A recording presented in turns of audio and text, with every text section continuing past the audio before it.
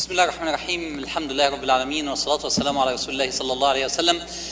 أولا أنا شرف لي أن أنا أكون موجود هنا لل للمرة دلوقتي الرابعة. رابع مرة أكون موجود في هذا المؤتمر. الحقيقة كل سنة باجي هذا المؤتمر يمكن السنة اللي فاتت واللي قبليها ما جيتش لكن كل المرات اللي جيت فيها آه برجع آه واخد شحنة طاقة وشحنة أمل كبيرة جدا. يمكن أنتوا تفتكروا إن اللي جايين لكم هم اللي جايين يدوا ليكم الأمل والطاقة إنما الحقيقة إن أنا برجع من هنا قوي برجع من هنا كل أمل برجع من هنا سعيد جدا بالشباب والبنات اللي, اللي بشوفهم وبالمحاضرات اللي بسمعها. لسه كنت قاعد بستمع لأخويا الحبيب الحبيب علي الجفري وهو بيقول محاضرته وأنا جاي يعني بعده يمكن الواحد يشعر بالخجل لكن أنتوا حاجة جميلة جدا جدا جدا. مسلمي كندا حاجة رائعة. بولادهم وشبابهم. شوفوا خليني أتفق معاكم على حاجة. أنا النهارده آه يعني آه مش جاي أدي محاضرة. أنا جاي قاعد في بيتنا وسط إخواتي ووسط أهلي. وعايز أقول لهم كلمتين من قلبي. وناقص اقلع الجاكيته اللي أنا لابسها دي واشمر القميص ويعني كده مفيش مش جاي ادي محاضرة. أنا جاي ادي احساس عايز اوصله للمسلمين في كندا للآباء والأمهات. أرجوكم يا بنات يا شباب اسمعوني كويس الله يخليكم. أنا جاي من آخر الدنيا. أنا وإخواننا اللي جم من كل البلاد علشان يديكم المحاضرات دي جايين من آخر الدنيا.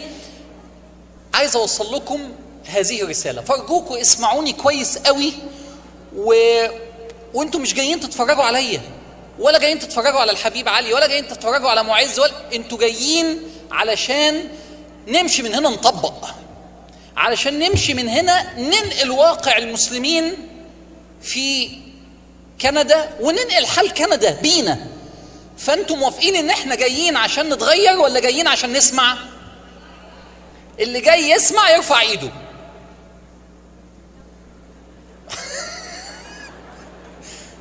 في ناس حافظة مش فاهمة قام رافع ايده على طول. اللي جاي عشان ناوي يغير ويتغير يرفع ايده. أنا شايف واحد ورا خالص أهو. صح تمام. طيب. أنا طلب مني أدي محاضرة عنوانها إيه نماذج نبوية وحياتية في حياتنا. هي صعبة شوية بس أنا هسهلها يعني. ل... ل... لإظهار الحق في زمن الأكاذيب. كلام صعب. حد فهم حاجة؟ إحنا عايشين المحاضرة عايزة تقول إيه؟ أو الفكرة اللي طلبت مني إيه؟ إحنا عايشين في زمن صعب قوي موافقين على كده؟ وزمن سواء في الغرب أو في بلادنا أو اللي جاي من سوريا أو اللي جاي من مصر أو اللي جاي من العراق أو اللي جاي من اليمن زمن صعب جدا. أنا عايز تقول لي خمس حاجات أمسك فيها أنفذها في الزمن الصعب. هي دي المحاضرة. ماشي؟ خمس حاجات أتمسك بيها وأفضل ماسك فيها قوي وأنفذها في هذا الزمن الصعب. وأنا جاي اقترح عليكم خمس حاجات حضرتك تنفذها وانت هنا في كندا. وعشان كده بقول لكم دي مش محاضرة للاستماع دي محاضرة للتنفيذ. واللي يقدر يكتب على الموبايل بتاعه أو يقدر يقوم مسجل عنده النقط علشان هنروح بنشتغل بيها. زي ما الحبيب علي كان بيتكلم من شوية إزاي هنتعامل دون الاقصاء والتفاعل مع الآخر وطلعنا بالرسالة دي أنا عايز أطلع معاكم 5 بوينتس نمشي من هنا ننفذها. موافقين؟ حد موافق؟ طيب ماشي. النقطة الأولى في الزمن الصعب في الأيام القاسية لما بتزداد الدنيا صعوبة وبتبقى قاسية علينا قوي وبنبقى مش عارفين فين الصح وفين الغلط. أول نقطة بقترحها عليك. عشان تفضل على الحق. عشان تفضل كويس. خلي بالكوا الزمن الصعب ده بيبقى مليان مادية. من أول عبادة الدولار لغاية إنك تاخدك دوامة الحياة وتتوه فيها. أقول لك على حاجة تحافظ عليك وعلى أولادك؟ ما تتوهش. يعني في ظل اللخبطة تفضل ماسك عارفين لما يبقى عاصفة جامدة جدا وخلاص وهتطير انت انت واولادك فتلاقي شجرة تقوم ماسك فيها فتجمد. في هذا الزمن الصعب أكتر حاجة تجمدك انزل للناس وافعل الخير. الدنيا بايظة مش كده؟ الناس متلخبطة مالكش دعوة. بيقولوا في بلادنا ناس بتضرب بعض وناس بتتخانق مع بعض وبيحصل كذا وكذا في مصر وسوريا. طب وانت بتعمل إيه؟ أنا زعلان على الوضع. انت بتعمل إيه في كندا؟ انزل واعمل الخير. عهد على كل واحد قاعد هنا. ست أو راجل كبير أو صغير لازم يبقى لك عمل خيري في كندا. انت مش متفرج.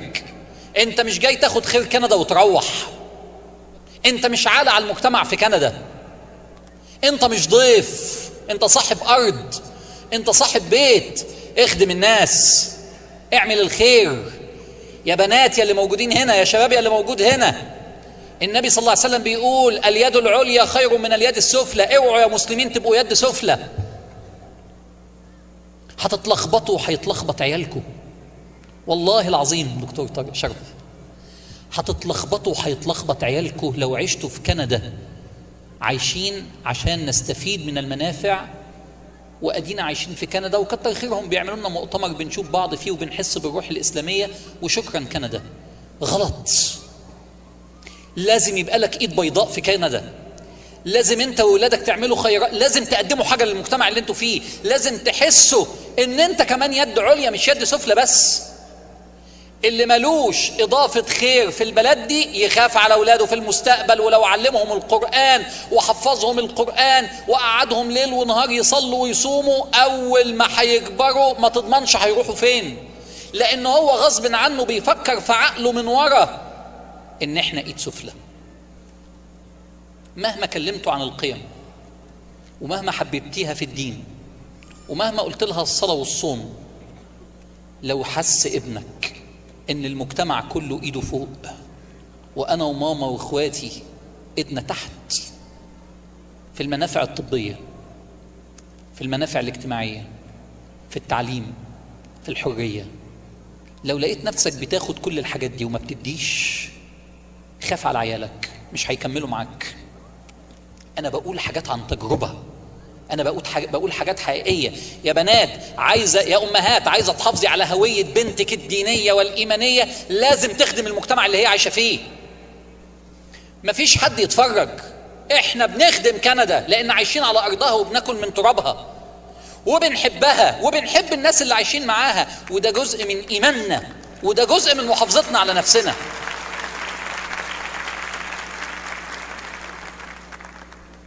انزلوا للناس يا جماعة. انزلوا للناس بلاش نقفل على نفسنا ونفضل مسلمين المسلمين عايشين لبعضهم. خليني أحكي لكم شوية حاجات.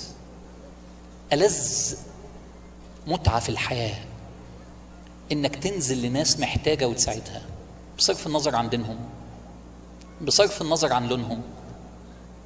انزل لل انزل للبسطاء وساعدهم.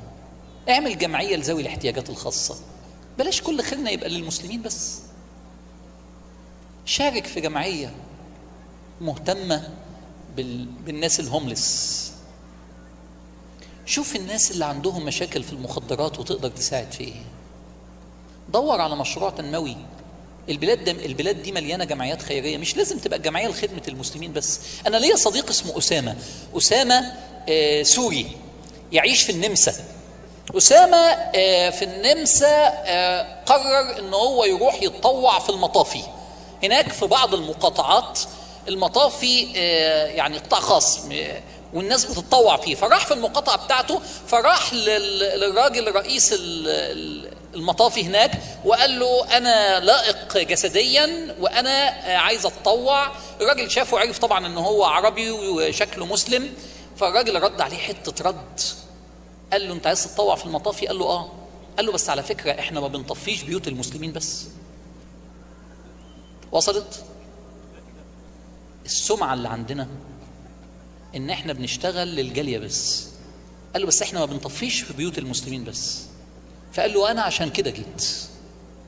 أسامة بيقول لي بعد ثلاثة أشهر بقيت أحب الناس للبلدة كلها لأني ما طفتش بيوت المسلمين بس. طفوا بيوت الناس الغلابة في كندا يا جماعة. طفوا بيوت الناس ساعدوا.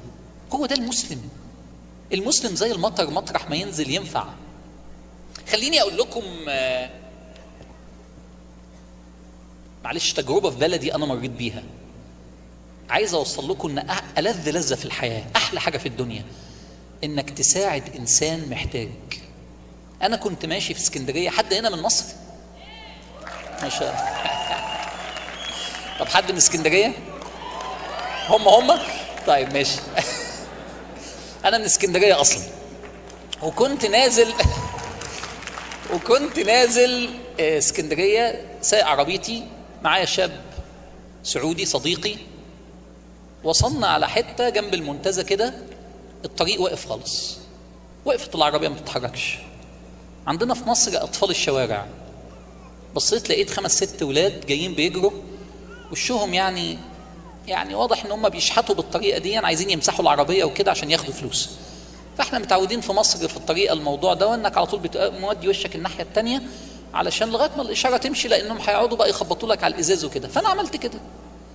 وبعدين غصب عني ببص بعيني كده لقيت ولد شكله حلو قوي قوي شكله جميل فعلا شكله بريء جدا. فغصب عني قمت فاتح إزاز العربية وقلت له تعالى أنت اسمك إيه؟ قال لي أنا اسمي ربيع. قلت له أنت عندك كم سنة يا ربيع؟ قال لي أنا عندي عشر سنين. قلت له أنت بتعمل إيه هنا يا ربيع؟ قال لي أمي بتسرحني. حد عارف يعني إيه بتسرحني؟ أمي تلاقي اللي بيترجموا مش عارفين يكتبوها دلوقتي. أمي قال لي أنا أمي بتبعتني أقف في الشارع أضايق العربيات عشان يدوني فلوس. قلت له ربيع انت عندك اخوات؟ قال لي إحنا سبعة اخوات عايشين في أوضة واحدة. قلت له ربيع انت إيه اللي في وشك دي؟ قال لي ده واحد ضربني بمطوة بسكينة. قلت له ضربك في سنك ده؟ قال لي واحد زيك اداني 20 جنيه. فخدت ال 20 جنيه وجيت أحطها في جيبي فجي واحد زيي بس كبير قال لي هات ال 20 جنيه ما رضيتش أديها له قام ضاربني بالسكينة وخدها. قلت له يا ربيع انت اتمسكت قبل كده؟ رحت القسم قبل كده؟ قال لي أنا رحت أربع مرات. قلت له قعدت كل مرة قد إيه؟ قال لي قعدت ست سبع ساعات لغاية ما طلعوني. قلت له ربيع انت نفسك في إيه؟ قال لي نفسي أتعلم. نفسي أتعلم. قلت له ربيع انت ما دخلت المدرسة؟ قال لي أمي طلعتني من ثالثه ابتدائي علشان أجيب فلوس.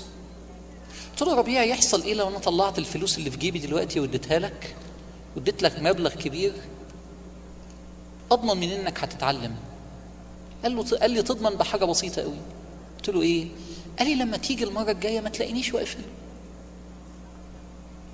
أنا اديت ربيع الفلوس وما أعرفش هيعمل بيها إيه. أنتوا تحمدوا ربنا إن ربيع ده مش ابنك. انت تحمدي ربنا إن ربيع ده مش اخوكي مسكين. انت بتتعلمي في كندا. وإحنا في بلادنا مش عارفين نتعلم التعليم اللي انت بتتعلمه. يا جماعة اعملوا الخير عشان ربنا ما يسحبش منكم نعم. انت مش هتنزلي مصر ولا سوريا تدوري على ربيع دلوقتي. بس انت عايشة هنا. والأرض كلها بتاعت ربنا والخلق كلهم عباد الله. ساعدي الناس. ساعدي الناس عشان ربنا ما يحوكيش. فاهمين يا بنات؟ البنات اللي تحت عشرين سنة هنا يرفعوا ايديهم. طب البنات اللي تحت خمسة وعشرين سنة يرفعوا ايديهم. يا بنات كل اللي سامعيني اوعي يمر عليك الأسبوع الجاي من غير ما تكوني بعد بدأتي تعملي الخير. أنتوا عارفين يا جماعة في الزمن المادي اللي إحنا فيه كله بيدور على الناس الأغنياء والناس اللي في مستواه يتعامل معاهم. أكتر واحد عايز يحافظ على نفسه ينزل للغلابة. على فكرة دي كانت خطة النبي صلى الله عليه وسلم. هقول لكم حاجة. كذا مرة في بلادنا العربية حصلت محاولات إن حد يعمل نهضة. فشلت كلها. عارفين ليه فشلت كلها؟ لأن كل اللي حاول يعمل نهضة كان بيدور على النخبة المتعلمة وبيسيب الشعب الحقيقي. لكن النبي ما عملش كده. قام جايب أهل الصفة فقراء المدينة وسكنهم جنب بيته.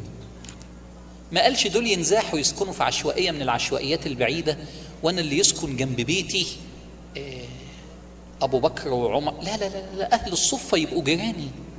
ويقول اللهم أحيني مسكينا وأمتني مسكينا واحشرني في زمرة المساكين. ده بيبعت رسالة.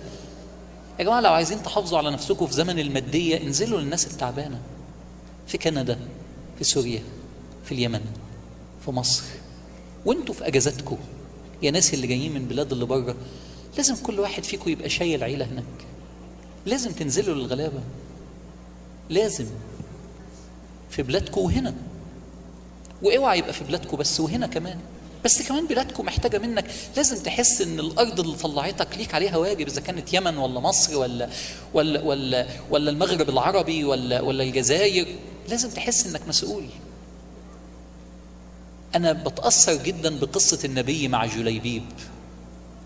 النبي صلى الله عليه وسلم أنا لو سألتك أنت مين اللي في دايرة اهتمامك هتلاقي صاحبك وخالتك و... وفلان وقرايبي لكن تعجب لما تلاقي النبي اللي في دايره اهتمامه الغلابة. النبي صلى الله عليه وسلم يروح لواحد اسمه جليبيب. جليبيب دون فقير معدم وشكله مش حلو. فالصحابة بيتجنبوه. لكن النبي النبي صلى الله عليه وسلم يروح لجليبيب ويقول له هل تزوجت يا جليبيب؟ فقال ومن يزوجني يا رسول الله؟ أنا ده أنا غلبان وشكلي محدش هيرضى يجوزني. فقال أنا أزوجك. إيه ده النبي هيخطب له؟ أنت متخيلة لو النبي جه يخطب لبنتك؟ تطيري من الفرحة قد إيه؟ لا النبي مش هيخطب لكبار الناس النبي هيخطب للغلابة. فراح النبي صلى الله عليه وسلم لأبو بنت وقال جئتك خاطبا. فقال لنفسك يا رسول الراجل انبسط قوي النبي هيجوز بنتي فقال لا. قال فلمن يا رسول الله؟ لمين؟ لعلي. لعثمان؟ لمين؟ فقال لجليبيب فقال جليبيب امهلني يا رسول الله حتى أستأمر أمها أراجع أمها. طبعا أمها إيه؟ عارفين أنتوا هتعمل إيه طبعا يعني هتقوم خبطة على هي بنتي بايرة علشان تتجوز جليبيب. فأمها قالت أما وجد رسول الله إلا جليبيب؟ لكن البنت كانت عاقلة. قالت يا أبتي ما جاء برسول الله من بيته إلى هنا إلا وفي الأمر خير لي. يا سلام على البنت. ف... اذهب يا رسول الله اذهب يا أبتي إلى رسول الله وأخبره أني قبلت. الراجل تلكأ شوية مش مش مش قادر. لكن البنت بتضغط تصدقوا إحساسها عالي قوي على ما الراجل يروح للنبي تكون جت معركة. ويكون جليبيب طلع في المعركة خلاص يا خسارة مش هيلحق يتجوز هيموت شهيد. وتنتهي المعركة فالنبي يسأل من تفقدون؟ حد مفتقد حد؟ فقالوا نفقد فلان وفلان الناس اللي بقى الكبيرة المهمة. قال أما أنا فأفتقد جليبيب يا سلام على على حنيتك يا رسول الله. أنتوا يا جماعة حنين كده؟ ولا بتقولوا صلى الله على محمد صلى الله عليه وسلم بالبق بس؟ هو ده هو ده النبي صلى الله عليه وسلم. عايزة تبقي على قدم النبي صلى الله عليه وسلم روحي للغلابة. روحي للناس. روحي للناس ال... ال... المسنين اللي عايشين في بي... في, بيوت المسنين هنا في كندا وطبطبي عليهم روحي لليتامى مش بس كل المروح على أصحابنا وبس وعلى ال... هتفضل المادية واخدانا لغاية إمتى؟ عايز ترجع لحقيقتك في زمن الأكاذيب روح للغلابه هم دول حقيقة الناس. أما أنا فأفتقد جليبيب قوموا بنا نبحث عنه فيدور عليه النبي فيلاقيه في القتلى ميت وحواليه سبعة موتهم قبل ما يموتوه. فقال انظروا انظروا يعني إيه؟ شفتوا ليه أنا بحبه؟ ما مات حتى قتلهم. ويرفع إيديه للسماء ويقول اللهم إني أشهدك أني راض عن جليبيب. هذا مني وأنا منه. يا سلام. هو ده اللي مني هو ده اللي حتة مني. حد مشاعره كده تجاه الغلابة يا جماعة؟ يا جماعة ال- الدنيا بتلف الدنيا صعبة. وبعد الشر على أولادك بعد الشر بعد الشر عليهم لو فضلوا كده وفضلتوا كده في حالة تعالي عن الغلابة محدش عارف يحصل إيه. في حديث نبوي جميل قوي اسمه بيقول داووا مرضاكم بالصدقة. بيحكي لي واحد صاحبي بيقول لي آه عندي ابن ست سنين فجأة الولد بدأ يضعف ما بياكلش. فجأة الولد في حالة هزال شديد خدناه كشفنا عليه التحاليل الولد الولد مصاب بالسرطان. بيقول يعني بقيت بموت وحالتي زي الزفت. بيقول في يوم من الأيام أنا ماشي لقيت واحدة ست بتطلع من الزبالة أكل. حد شاف فيكم المنظر ده قبل كده؟ حد شاف حد بيطلع من الزبالة أكل؟ طب وعملت إيه؟ ولا حاجة. فهو بيقول لي شفت واحدة ست بتطلع من الزبالة أكل. صعبت عليا ست كبيرة. قلت لها مالك يا حاجة؟ قالت لي بربي ثلاث بنات يتامى ماليش غيرهم ما عندناش أكل. فمش اداها قرشين. لا لا لا لا عمل حاجة أكبر بكتير. قال لها تعالي يا حاج. والله القصة دي هو اللي بيحكيها لي. تعالي يا حاج. وقام واخدها على الجزار بتاعه. يا عم محمود الست دي هتجي لك كل شهر. هتديها كمية لحمة كذا كذا كذا الحساب عندي. خدها وطلع بيها على البقال بتاعه. السوبر ماركت الست دي هتجي لك كل شهر هتاخد منك زيت وسكر وس- وكذا كذا كذا كذا الحساب عندي؟ خدها وطلع بيها على الترزي بتاعه الست دي هتجي لك كل ست أشهر هتفصل لبناتها كذا كذا كذا كذا تفصل لها اللي هي عايزاه والحساب عندي. راضي يا ست؟ قعدت تدعي له بيقسم بالله. بعد أسبوع رايح يعيد التحليلات للولد الدكتور بيقول له هات لي الولد اللي كان بيعمل التحليلات مش ده اللي كان بيعمل التحليلات. يقول له لا والله هو ده اللي كان بيعمل التحليلات. يقول له الولد ده سليم ما فيهوش حاجة. يا إما التحليلات اللي إحنا عملناها كانت غلط يا إما الولد ما فيهوش حاجة. فبيقول مروحت مش مصدق. ابني خف. بيقول بقلب كده في, في, في أحاديث الترمذي بصيت لقيت حديث داووا مرضاكم بالصدقة. اللي عنده حد عيان يداويه بأنه يتصدق. اذا النقطة الأولى اللي عايز أقولها في زمن في زمن نعيش فيه مليان صراع ومادية. امسك في الغلابة. يحصل لي إيه؟ تثبت. أمسك في الغلابة فين؟ في كل الأرض. في بلدك وهنا. يا سلام من كده لو تتولى عائلة فقيرة في بلدك ويا سلام لو تخش جمعية خيرية كندية تنضم إليها. بحجابك كده. بصلاتك كده. باسمك اللي اسمه محمد أو اسمك آه، علي أو اسمك خالد. يا سلام. يا سلام على الايمج الرائع اللي هيتعمل للمسلمين. من غير ما تكون عايز تدخلهم في الإسلام أرجوك أرجوك. عشان بس نحترم عشان نبقى محترمين. دي النقطة الاولى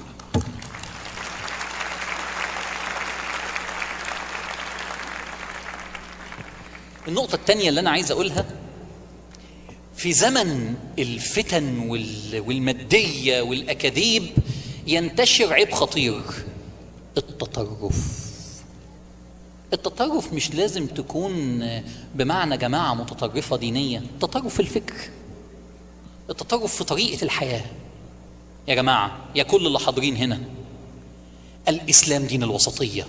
والوسطية مش كلام فكري. ال- الوسطية بنعبد بيها ربنا. وكذلك جعلناكم أمة وسطا. كلمة الوسطية دي لازم تنتشر بين بناتك. لازم ت... يعني إيه وسطية؟ يعني إحنا أفكارنا معتدلة في نظرتنا للإسلام معتدلة. بنتعامل مع الغرب من غير عقد من غير مفاهيم إسلامية مش صحيحة تخلينا بنكره الآخر وبنتصارع مع الآخر. أنا في منطقة الوسط.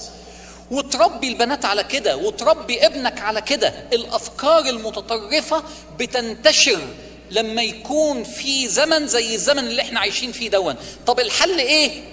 الحل وكذلك جعلناكم أمة إيه؟ يعني إيه أمة وسطا وبعدين شوف. شوف الآية اللي بعديها لتكونوا شهداء على الناس طول ما أنتوا وسطيين تيجوا يوم القيامة تشهدوا على الأمم يعني إيه نشهد على. على الأمم يعني تيجي أمة أمة. والمسلمين يقفوا ويحك... ويقولوا الأمة دي كانت متميزة في كذا وكذا وكذا وكان ناقصها كذا إحنا إحنا مسلمين نشهد آه ليه أصل أنتوا في النص طب وليه إحنا يعني اللي نشهد؟ أصل اللي في النص شايف الطرفين صح ولا لأ؟ ها تخيل كده. لو أنا الناحية دي هشوف إيه؟ أقصى حاجة هنا لكن هشوف هنا؟ لأ. طب لو أنا الناحية دي مش هشوف هنا لكن إمتى ابقى شايف الاثنين بمنتهى الوضوح. اللي فين؟ اللي في النص. فإحنا نشهد يوم القيامة يا خوفي لا يجي ناس من المسلمين يوم القيامة وما يشهدوش ويستبعدوا من الشهادة أنت لأ. ليه؟ ده أنا من أمة محمد أنت ما كنتش في النص.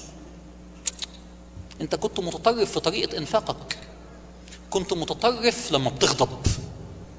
كنت متطرف في نظرتك للدين في حاجات عقدتها وهي الدين أسهل من كده بكتير. أنت كنت متطرف. ما تشهدش على الناس. يقول النبي يأتي نوح وقومه يوم القيامة. فيقول نوح يا رب كذبوني. وتقول ويقول قوم نوح يا رب لم يبلغنا. ما قال لناش حاجة.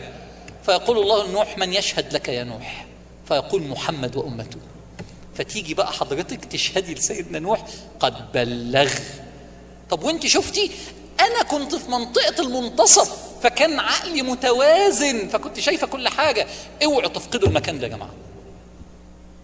يا أولاد ويا بنات صلي واعبد ربنا لكن بتتعامل مع الناس ببساطة. انت وسطي ويا أمهات دايما خلي بالك على أولادك. يحبوا الدين. ده ده أسعد يوم في حياتي لما يحبوا الدين. بس يحبوا الدين ويفضلوا عقلاء. محافظ على شكله. وهو ده الإسلام. محافظ على مظهره. محافظ على هندامه. محافظ على وده في التعامل مع البشر على اختلاف أديانهم. بيسلم بود مبتسم. طبيعي. بي بي بيتعامل مع الحياة. بيلعب رياضة. وبيخرج وعايز ينجح في الحياة ومش منغلق. هو هو دي الوسطية. أنا أخاف والله أنا شخصيا أنا أخاف يوم القيامة آجي وأنا مايل حتة كده.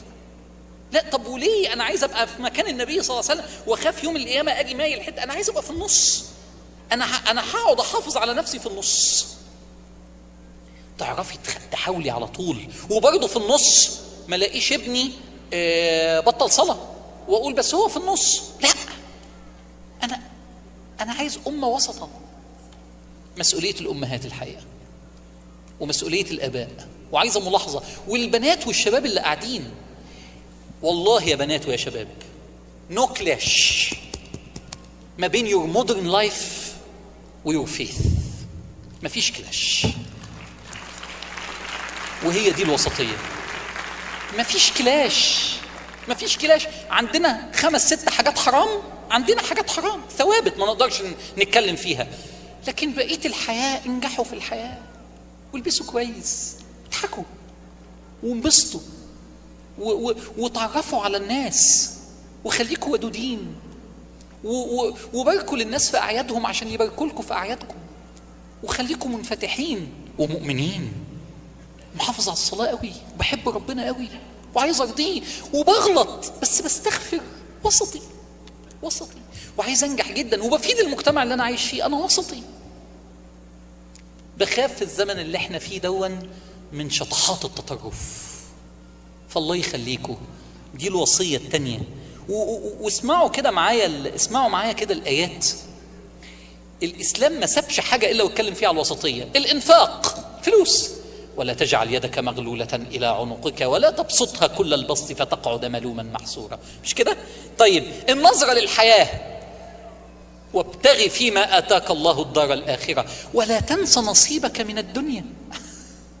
وأحسن كما أحسن الله إليك. طيب عند الظلم لو حد ظلمك وجزاء سيئة سيئة مثلها فمن عفا وأصلح فأجره على الله. شوفوا شوفوا ال- الجمال في الحرب في القتال حتى في القتال الوسطي. وقاتلوا في سبيل الله الذين يقاتلونكم. ولا تعتدوا. هي دي الآية الناسخة على فكرة. يحسن حد يقول فين آية السيف ده؟ هي دي الآية الناسخة. وكلام ده كلام ابن تيمية. هي دي. ولا تعتدوا. إن الله لا يحب المعتدين. وبعدين بقى في كل حاجة في الدنيا محمد رسول الله والذين معه أشداء على الكفار رحماء بينهم. تراهم ركعا سجدا عباد. ذلك مثلهم في التوراة عشان التوراة مادية فبيوزنوا بالوسطية. ومثلهم في الإنجيل عشان المسيحية روحانية. طب مثلهم في الإنجيل إيه؟ كزرع أخرج شطأه فآزره فاستغلظ. ناس شغيلة ومشمرة وبتزرع الأرض وبتعلي البنى. فجاب في التوراة عكس اليهود عباد. وجاب في المسيحية عكس المسيحيين. بيبنوا بيعمروا بيشغلوا علشان يقول أدي الأمة وأدي التوازن والوسطية. هل أنت وسطي؟ ممكن نعمل اختبار؟ مين يدي نفسه في ضوء اللي أنا قلته دون؟ فوق الثمانية من عشرة في الوسطية. يرفع إيده. يا نهار أبيض. ثمانية من عشرة. بس كده؟ طب طب طب من من ستة ونص اللي ما فوق يرفع إيده. طب خمسة من عشرة. طب أربعة. يا جماعة دي ده أنت كده تضمن إنك مع النبي مية في المية يوم القيامة. تشهد. شفتوا طلعت مهمة قد إيه؟ أنا قلت حاجتين لغاية دلوقتي. إيه هما؟ انزلوا للناس ساعدوا الناس. اتنين الوسطية. نمرة ثلاثة في زمن الفتن والأكاذيب واللخبطة والناس تايهة يحصل حاجة خطيرة جدا. إيه هي؟ يقل الوفاء. معلش خلق. أنا بوصيكم في هذا الزمن الصعب عشان تفضل محافظ على نفسك أصيل. الوفاء لكل اللي وقفوا جنبك. مين يوعدني النهارده بعد ما تخلص المحاضرة دي يعمل مكالمة وفاء؟ مش واحدة اسمها وفاء يعني يعني يعني يعمل مكالمة لواحد صاحب فضل عليه. والله يا جماعة في الزمن دون من كتر ما الناس متلخبطة والمادية واخداهم والأصالة بتروح. طب إيه أكتر حاجة بتضيع الأصالة؟ ترك الوفاء. عايز تفضل أصيلة؟ الوفاء للي أكرموكي. فاكرين فاكره المدرسة اللي كانت بتعلمك وأنت صغيرة؟ فاكرين يا بنات المدرسة الكندية اللي كانت بتديكي السنة اللي فاتت؟ ممكن تكلميها في التليفون النهارده؟ فاكر الراجل اللي وقف جنبك عشان تعرف تيجي وتشتغل هنا؟ فاكر لما عملت غلطة فلانية كنت هتترفد بيها واحد وقف جنبك؟ أخبار الوفاء إيه؟ تدي نفسك كم من عشرة في الوفاء؟ لو تدي نفسك كتير أنت أصيل. انت في زمن الفتن محترم. الوفاء ترمومتر القياس بتاع الأخلاق في زمن الفتن. طب أديكم مثل نبوي؟ مثل جميل قوي قوي قوي قوي وفاء ثلاثي عارفين في الباسكت الضربة الثلاثية؟ وفاء ثلاثي في خطوة واحدة. النبي داخل مكة يوم فتح مكة. كويس؟ مين أكتر ثلاثة وقفوا جنب النبي في حياته؟ وقفات كبيرة قوي عمه أبو طالب مع إنه مات مش مسلم خديجة زوجته الأنصار. مش كده؟ توافقوني؟ من أكتر الثلاثة اللي وقفوا جنب النبي في حياته. طيب النبي داخل مكة هيسكن فين النبي صلى الله عليه وسلم؟ بيته. لا بيته راح. مين اللي خد البيت؟ عقيل بن أبو طالب. أخو علي. أخو علي بن أبي طالب. آه عقيل. عمل إيه؟ خد البيت. قال بتاعي مش بتاعه. ده بيت خديجة. خده. عقيل ما هو عقيل ما أسلمش لسه. طيب فأسامة بن زيد بيقول له أين ستقيم يا رسول الله؟ هتقعد فين يا رسول الله؟ فقال له النبي وهل ترك لنا عقيل بيتا؟ هو أنا عقيل ساب لي البيت. طب ما تاخده منه يا رسول الله ده أنت الفاتح المنتصر. فقال لا وفاء لأبو طالب. ده الولد واخد بيتك بس أبوه أكرمني. بس الولد وأبوه مش مسلمين. بس ابوه وقف جنبي. بقى يوم ما افتح مكة اول حاجة اخد من الولد البيت لا مش هاخد البيت. إيه ده؟ إيه إيه إيه الاخلاق دي يا رسول الله؟ إيه ده؟ إيه الجمال؟ ده ده ده ابو طالب مات من زمان والولد وحش. اسلم بعد كده عقيل يعني. لا لا لا لا, لا. وفاء لابو طالب. طب يا رسول الله فاذا فاين ستقيم؟ ابنه انصبوا لي خيمة. فين يا رسول الله؟ عند الكعبة بقى عشان الناس كلها تيجي تقابلك. لا بعيد شوية. فين؟ عند قبر خديجة. لتشاركني نصري كما شاركتني أحزاني. يا سلام. الست اللي ماتت من 14 سنة. ده الرجالة مراته بتموت بعد ست اشهر بيقطع الصور. ويقول بركة يا جامع جت من عندها. بعد 14 سنة مش ابنه ليه خيمة عند الكعبة؟ عند قبر خديجة.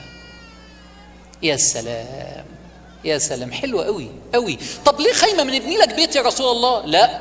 ليه؟ حتى يعلم الأنصار أني عائد إليهم. لو بنى بيت يبقى قاعد في مكة وهو وعدهم إن هو هيقعد معاهم. عشان كده اتدفن في المدينة صلى الله عليه وسلم. شفت الوفاء؟ ثلاثة خديجة أبو طالب الأنصار في خطوة واحدة. إيه أخبار الوفاء بقى؟ أحكي لكم حكاية. الوفاء ده يا جماعة لو حد إيمانه ضعيف وعايز إيمانه يعلى النهاردة النهاردة النهاردة يعمل التليفون اللي بقول لكم عليه. أحكي لكم حكاية. مرة كنت آه آه في واحد وقف جنبي في حياتي كتير الشيخ صالح كامل لعلكم كتير تعرفوا صاحب قناة اقرأ. وبعدين لظروف كتيرة فرقتنا الأيام وخلاص أنا بقيت شغال في حاجة تانية لكن بينا الود في يوم أنا كنت في لندن وجالي تليفون. الشيخ صالح كامل بيعمل عملية في القلب فأنا وممنوع الزيارة. اللي بيزوره بيقعد بس دقيقة يقف ويخرج. طب هو بيعمل عملية فين؟ في ميونخ. وأنا فين؟ أنا في لندن. فطبعا يعني بالطريقة ال ال يعني للأسف حاجة مش لطيفة يعني. قلت خلاص بقى لما يبقى يطلع أبقى أكلمه وأسلم عليه. فكلمني صديق ليا قال لي هو مش الشيخ صالح في ميونخ بيعمل عملية؟ قلت له آه. قال لي مش عيب إنك ما تروحش. فين الوفاء؟ فقلت له أروح لندن لميونخ عشان أدخل دقيقة وأمشي. قال لي يستاهل الوفاء ولا ما يستاهلش؟ فجمد عزيمتي خدت الطيارة طلعت من لندن وصلت ميونخ خدت تاكسي على المستشفى دخلت المستشفى قابلت ولاده قالوا لي هو جوه ممكن أسلم عليه؟ ممكن دقيقة وتطلع. كلام الأطباء. دخلت أنا بدعي لك وبطمن عليك. سلام عليكم. خدت التاكسي رجع المطار. وأنا راجع المطار عارف لما تحس إن في ملك من الملائكة مثلا قام فاتح قلبك وقام جايب إناء كله إيمان وقعد يدلق في قلبك؟ فجأة ترمومتر الإيمان ولقيت نفسي بقول ادعي ادعي ده وقت إجابة. مش معقولة الحالة الإيمانية اللي أنا فيها. والله يا جماعة الوفاء ده بيعلي ترمومتر الإيمان بشكل. حد هيعمل ترمومتر حد هيعمل تليفون وفاء بعد وبعدين ممكن تعمل حاجة حلوة قوي ممكن تعمل كود عندك في التليفون بتاعك بالناس أصحاب الفضل. أنا أعمل كده عشان كل شوية تقوم مكلمهم وتسمي مثلا الكود وفاء. بس اوعى مراتك تمسكه تعمل لك تعمل لك مشكلة. بس أقول لكم على حاجة تانية جميلة جدا في الوفاء. حاجة حلوة قوي. الوفاء للزوجة شوفوا كمية الستات اللي واقفين هنا. ورا كل واحدة ست قاعدة هنا قصة وفاء مع جوزها أو مع أولادها. والله العظيم. طبعا بيسقفوا طبعا عجبتهم. والله يا جماعة. وأنا بزعل بزعل لما تلاقي رجالة كتير بعد ما وقف على رجليه أهي دي مش أصالة في زمن الصعب. مش أصيل. أحكي لكم حاجة. الأدب الإنجليزي ده خطير. بيعلموا للولاد في المدارس في إنجلترا قصص للوفاء. فمن ضمن القصص اللي أنا شفتها في الأدب الإنجليزي وبياخدها الأطفال في المدارس إن هو كان مجند في الجيش البريطاني في الحرب العالمية الثانية والمعركة طالت فبدأ الجنود يتراخوا ومستعدين يموتوا بقى زهقوا من طول المعركة مع الألمان. فبيموتوا. فقائد الجيش البريطاني كان مصحصح مطقطق يعني. فلقى إن الحل عشان يرفع الروح المعنوية للجنود الحل هو الإيه؟ ده عندهم مالناش دعوة يعني. الحل هو المرأة. فطلب من البنات الإنجليزيات كل واحدة تراسل واحد على الجبهه في المعركة تبعت له جوابات. فما كانش فيه بقى إيميلات ومش عارف صورتها وهي مش عارفة صورته فهي عمالة تبعت له وهو عمال يرد هي عمالة تبعت له. حبها جدا. وتعلق بيها جدا وهي اتعلقت بيه جدا بس ما شافهاش. شهر في اتنين مرة كان داخل معركة ومتراخي لقى جواب منها فشدت روحه المعنوية فربنا أنقذه من الموت بسببها. ها ها ها ها فخلصت المعركة. بعت لها قال لها أنا راجع استنيني قدام محطة القطر. قالت له بس أنت ما تعرفش شكلي. أنا خايف تشوفني ما عجبكش. فهتجرحني. لو بعد المدة دي كلها وقفت قدامي وقلت لي شكلك مش عاجبني وقمت سايبني وماشي. فأنا هحط وردة حمراء في عروه الجاكيت بتاعي. وانت نازل من القطر شوفني لو عجبتك أقف لو ما عجبتكش سيبني وامشي عشان ما تجرحش فحطت بقى ال... فهو بقى القطر بيقرب من المحطة وهو قلبه بيدق حلوة وحشة حلوة وحشة حلوة وحشة. لغاية وقف القطر نزل من القطر شافها حط الوردة الحمراء وقف قدامها طلعت وحشة قوي قوي فقام واخد بعضه وهي فكيك. وقام معدي وماشي وصل على باب المحطة. بدأ بقى صراع مع النفس. دي وقفت جنبي. بس وحشة قوي. بس دي أنقذتني من الموت. بس وحشة قوي. بس دي روحها جميلة. بقى ها ها ها ها. في الآخر اختار الوفاء. قام لافف وراجع وقف قدامها. قال لها أنا اللي أنت بتدوري عليه قالت له لكن مش أنا اللي أنت بتدور عليها اللي بتدور عليها البنت الحلوة اللي قاعدة هناك هي اللي ادتني الوردة الحمراء عشان تشوف أنت هتقف ولا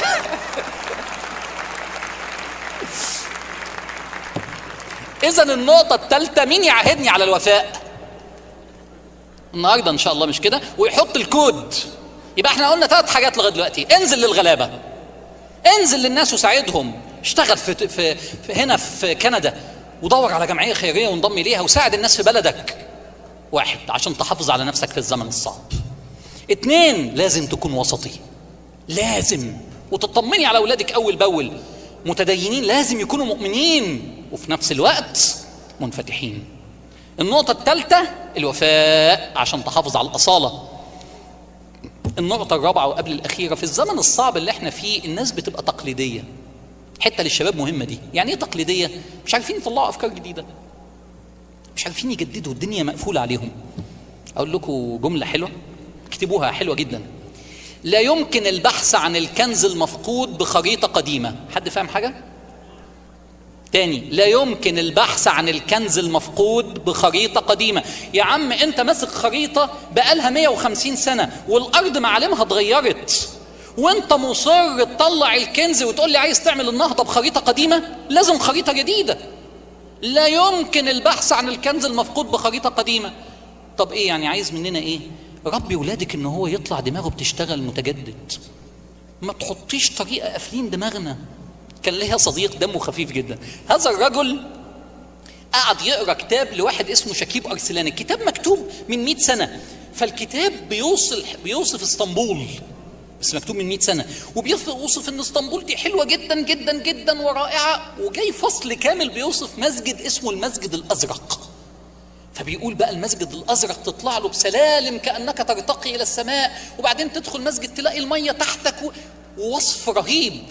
صاحبي دون بعد قعد يتمنى إنه يزور تركيا ويشوف المسجد الأزرق. بعد عشر سنين راح تركيا. نزل قال لهم أنا عايز المسجد الأزرق. يقولوا يا عم انت بتوصف حتة غير اللي إحنا بنقول عليها مفيش كلام من ده. يقول لهم لا ده كده والسلالم يقولوا له مفيش كلام من ده. ما لقاش اللي هو بيدور عليه. أتاري الكلام اللي هو كان بيقراه مكتوب في كتاب اتكتب من 100 سنة والدنيا اتغيرت. ممكن ما تجبريش ابنك على طريقة تفكير معينة. ممكن نسمح لأولادنا إن هو يبدعوا ويفكروا. ممكن نسمح لهم يتعاملوا مع التكنولوجيا بشكل متجدد. أنا بحب قوي النبي صلى الله عليه وسلم وهو بيوافق. لسيدنا سلمان الفارسي على فكرة حفر الخندق في وقت عصيب. خلاص دول داخلين علينا. مين يطلع فكرة جديدة؟ إحنا لا لا لا خلينا في التقليدي. لا نحفر الخندق وليه لا؟ فكرة جديدة. إيه يا شباب يا بنات عايزينكم محافظين على أصالة دينكم؟ طبعا طبعا. عايزينكم متدينات؟ طبعا طبعا أكيد. بس عايزينكم حرين في تفكيركم. كل بلادنا العربية دلوقتي كل اللي بيتكلموا فيها نفسهم يعملوا نهضة. بس كله بيدور بخرائط قديمة. محدش مستعد يكسر حواجز ويقول فلنفكر بطريقة جديدة. بره الصندوق. أنتوا هنا عايشين في كندا يا بختكم يا بنات. يا بختكم يا أولاد إحنا ما اتعلمناش التعليم اللي أنتوا اتعلمتوه أنا ما اتعلمتش التعليم اللي أنتوا اتعلمتوه التعليم اللي أنتوا اللي ابني بيتعلمه كمان. ابني دلوقتي كل حاجة يقول لك هعمل ريسيرش هعمل طريقه تفكير منفتحة. الله يخليكم ما تقفلوش دماغكم. هو اشمعنى اللي عمل ال- الفيسبوك ما طلعش شاب مسلم في الآخر؟ ليه كل الاختراعات الحديثة والأفكار المجنونة اللي بتقلب الدنيا ما وراهاش مسلمين. ليه كده صحيح؟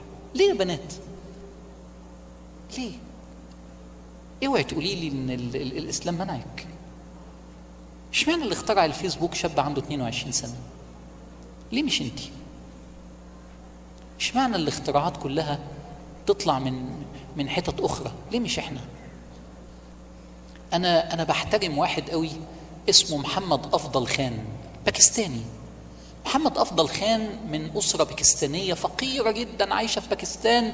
مات أبوه وأمه وهو طفل في حادثة عربية في الولد. جاله انغلاق على نفسه وشبه اتعقد وقفل على نفسه خالص وبقى منطوي. عمه عايش في بريطانيا في مانشستر. عمه قال له أنت هتقعد في باكستان لوحدك أنا هاخدك عندي. راح بقى منطوي أكتر لأنه ما بيعرفش يتكلم إنجليزي واولاد عمه كلهم بيتكلموا إنجليزي فقفل على نفسه. ما رضيش يدخل المدرسة. فضل منطوي منطوي. طب هيشتغل إزاي؟ بقى عنده 17 سنة وما دخلش ثانوي. طب إيه الحل؟ في الآخر اشتغل سواق أتوبيس أتوبيس مدرسة. ركب مع الولاد الإنجليزي وهو بيسوق المدرسة. اتغاظ غار. العيال بتتكلم في في كلام كبير جدا. العيال بتعمل سيرش وعمالة تقول مين عمل ومين سوى وكلام كبير وهو مش فاهم حاجة. اتجنن. حلف لا يتغير. رجع المدرسة ثانوي. اتعلم إنجليزي. طلع الأول على المدرسة. دخل كلية حقوق. طلع الأول على كلية حقوق. محمد أفضل خان أول عمدة مسلم لمدينة مانشستر سنة 2006 أول مرة عمدة مسلم لمدينة بريطانية. تخيلوا الشاب الفقير المعدم أول مسلم يبقى عمدة لمانشستر. مدينة مانشستر عمدة بتاعتها واحد مسلم محمد أفضل خان. دلوقتي محمد أفضل خان في حزب العمال وبيستعد عشان حلمه الجديد إن هو يبقى رئيس وزراء بريطانيا. فوقوا بقى يا بنات. يا شباب يا اللي هنا اجمد. لازم تنجح. فكر واطلق فكرك وما تخافش. ما تحطش حدود. شايف السقف بتاع المكان اللي إحنا فيه ده واطي مش كده؟ لكن ربنا على سقف السماء. عشان حلمك ما يبقالوش حدود. ليه بقى؟ تخيلوا لو كان سقف السماء واطي زي سقف بيوتنا قد إيه كنا هنبقى مقفولين؟ كبر. أنا بكرة محاضرتي عن الحلم. إزاي تبني الحلم؟ النقطة الأخيرة اللي أختم بيها إيه أنا قلت أربع حاجات مش كده؟ حد فاكرهم؟ إيه بقى؟ آه ساعد الناس ساعد الغلابة. اثنين الوسطية. ثلاثة الوفاء. أربعة تجديد. آخر نقطة أختم بيها. عايز في الزمن الصعب ده تحافظ على نفسك؟ اقرأ قرآن كل يوم. القرآن. كل يوم.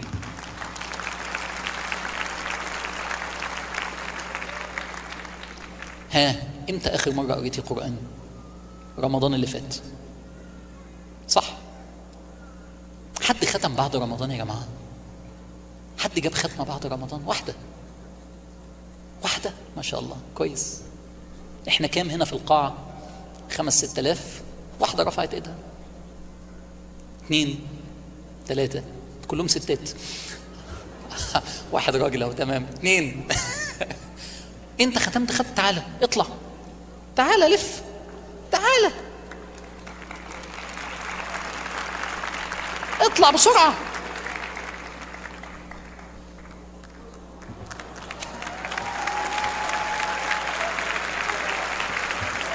انت ختمت ختمة بعد بعد رمضان؟ أيوه. انت اسمك إيه؟ أحمد. أحمد إيه؟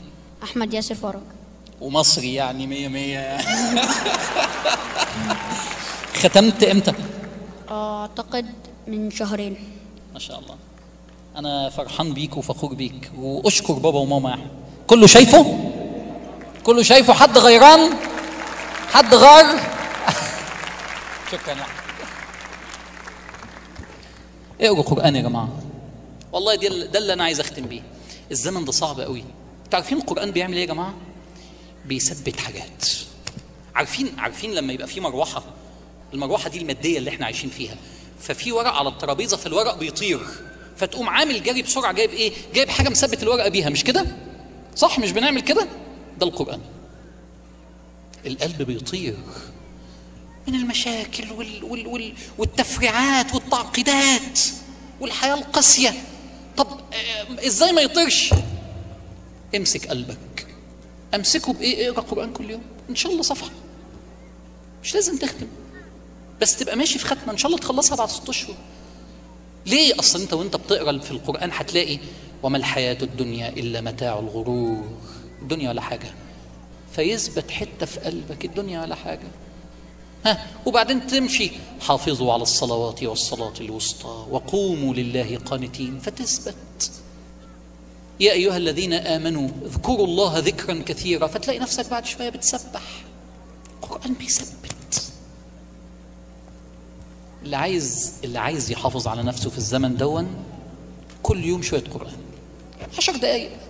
مش كتير عشر دقايق. بس امشي في ختمة عشان تفضل عايز تجيب الختمة. طب أقول لكم على فكرة حلوة قوي. الرجالة والستات تيجي تعمل ختمة أنت ومراتك على ال- على الموبايل؟ يعني إيه ختمة على الموبايل؟ يعني تبعتوا لبعض. والله وأنت في الشغل وهي في البيت ويا بنات أنت وصاحبتك. ها؟ بتتفقوا مع بعض. سورة البقرة الآية 12 وصلت له رسالة. يقوم رادد سورة البقرة الآية 20 ها فات يوم ومحدش قرأ. انت ما قريتش ليه؟ فبنفكر بعض. والله يا بنات والله أنا أعرف ناس عملوا مع بعض 30 ختمة. 30 ختمة في خمس سنين. اقروا القرآن يا جماعة عشان عشان تثبتوا. قال يا رسول الله أأقرأه عليك وعليك أنزل؟ قال إني أحب أن أسمعه من غيري. يا سلام على على المعاني الرقيقة في الإحساس بالقرآن. فقرأت عليه سورة النساء حتى إذا وصلت إلى قوله فكيف إذا جئنا من كل أمة بشهيد؟ وجئنا بك على هؤلاء شهيدا. فنظرت إليه فإذا عيناه تدمعان. قرآن القرآن. القرآن يا جماعة روح. لما روحك تهبط خالص وتحس إنك معنويا تعبانة قوي اقرأ قران ليه؟ وكذلك أوحينا إليك روحا من أمرنا. القرآن روح فوق روحك. صدقوا بيقوي الروح المعنوية. وننزل من القرآن ما هو شفاء. الناس الحزينة الناس التعبانة شفاء. ورحمة. الناس اللي قلبها بيدق خايفة. ورحمة للمؤمنين. يا سلام. أنا خلصت. أنا وصلت معاكم لخمس حاجات. إيه الوسطية يا جماعة الوسطية. انزلوا للناس وساعدوا الناس. اخدموا كندا يا جماعة. اخدموا الناس في كندا ما تعيشوش لنفسكم. واخدموا الناس في بلادكم. التالتة النهاردة يوم وفاء. صحيح فرق التوقيت عالي بس أول ما تصحى من النوم اعمل تليفون. وحط ناس عندك لازم تتصل بيهم. وعلموا بناتكم وولادكم على كده. النقطة الرابعة كانت إيه؟ تجديد. افتح دماغك. افتح دماغك. النقطة الخامسة والأخيرة القرآن. أنا مبسوط جدا جدا جدا. أنا جيت هنا كتير. بس أول مرة أبقى بتكلم فعلا وأنا حاسس إن أنا قاعد في بيتي وإن أنا كده مش العدد الكبير ده ده أنا والحبيب علي و... ودكتور طارق ويعني ومصط... يعني حاسس إن أنا كده قاعد في في بيتي وأهلي ودول بناتي اللي قاعدين وأخويا قاعد ورا هو الشباب اللي موجودين آه إن شاء الله في أمل كبير هيتبني هيتبني بيكوا جيل حلو قوي قوي قوي قوي والأيام اللي جاية حلوة وخلي عندكم أمل. أنا محاضرتي بكرة عن الأمل عن النبي وطريقة بناء الحلم في الناس عشان ينجحوا. فقد تكون مفيدة للشباب قوي وللأمهات يغرسوها في الشباب والآباء. ندعي نختم بدعاء. يا رب يا أرحم الراحمين يا أرحم الراحمين يا أرحم الراحمين يا أكرم الأكرمين يا أجود الأجودين يا من تسمعنا الآن وترانا. يا رب اجتمع هذا العدد الكبير الهائل من المسلمين في هذا البلد. راضي عنا يا رب. اللهم لا نخرج من هذه القاعة إلا وقد غفرت لنا. اللهم لا نغادر هذه القاعة إلا وقد رحمتنا ورضيت عنا. يا رب ردنا إلى بيوتنا الليل مغفور لنا. تب علينا اهدنا سامحنا اعف عنا. قوي قلوبنا بالإيمان. حببنا في الإيمان. حببنا في الإيمان. زينه في قلوبنا. حبب إلينا صلاة الفجر. حبب إلينا القرآن. حبب إلينا القرآن. أعدنا على ذكرك وشكرك وحسن عبادتك. رقق قلوبنا. أبكنا من خشيتك. أذقنا حلاوة الإيمان. أيقظنا قبل أن نموت. أيقظنا قبل أن نموت. احفظ ولادنا. احفظ ولادنا. اهدي ولادنا. اهدي ولادنا. اجعلهم صالحين مصلحين. احفظهم لنا. احفظهم لنا في صحتهم وفي عافتهم وفي دينهم وفي هدايتهم. ثبتنا على الإيمان ثبتنا على الإيمان يا مقلب القلوب والأبصار. ثبت قلوبنا على دينك. أعنا على فعل الخير أعنا على خدمة الناس أعنا على الوفاء أعنا على الوفاء. اجعلنا من عبادك الوسطيين اجعلنا من عبادك الوسطيين. افتح علينا افتح علينا اغفر لنا وسع أرزاقنا اشفي أمراضنا ارحم موتانا تب علينا اهدنا. اللهم من علينا بحجة قريبة من علينا بعمرة قريبة. اللهم رد عنا رسول الله. اللهم يا ذا الجلال والإكرام نلقى النبي يوم القيامة. يتلقانا فرحا مسرورا يقول إني قد رضيت عنكم بما فعلتم. اللهم تقبل منا أجمعين واعف عنا واغفر لنا واهدنا وأدخلنا الجنة. اللهم اكتب كل من حضر معنا اليوم أو يسمعنا الآن رفيق النبي في الجنة يا رب. آمين آمين آمين. وصلى الله وسلم وبارك على سيدنا محمد. وجزاكم الله خيرا وأشوفكم بكرة إن شاء الله.